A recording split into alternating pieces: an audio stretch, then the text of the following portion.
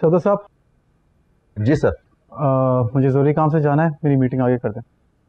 जी बेहतर सर।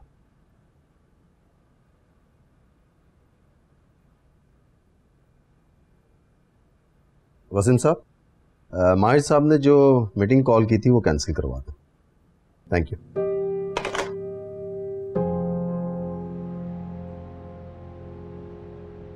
इसके साथ के लड़के जॉब पर लग गए। अपने बाप का बाजू बन गए। काम करा काज का दुश्मन अनाज का।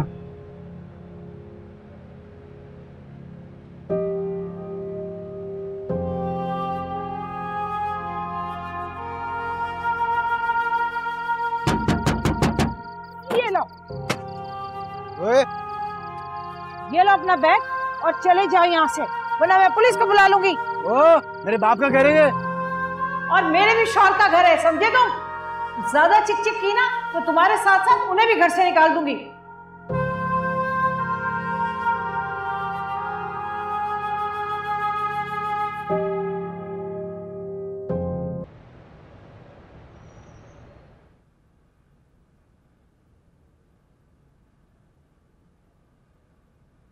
माहिर भाई आप?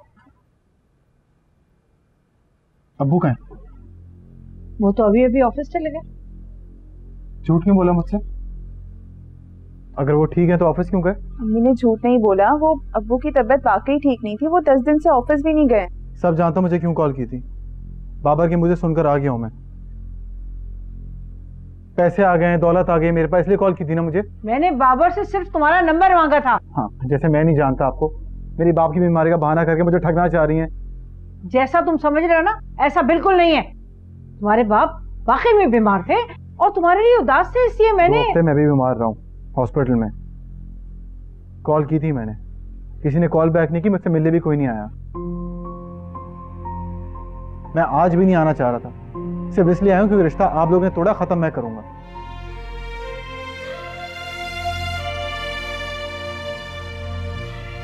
और कॉल मत करिएगा अंदर के बाद मुझे ब्लैकमेल करके।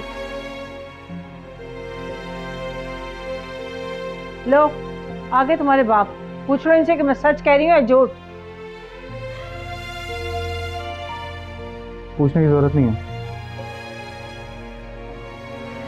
जो देख रहा हूँ उस पर यकीन है मुझे। बोलते क्यों नहीं आप? बताएँ इसे क्या आप? पानी दोष है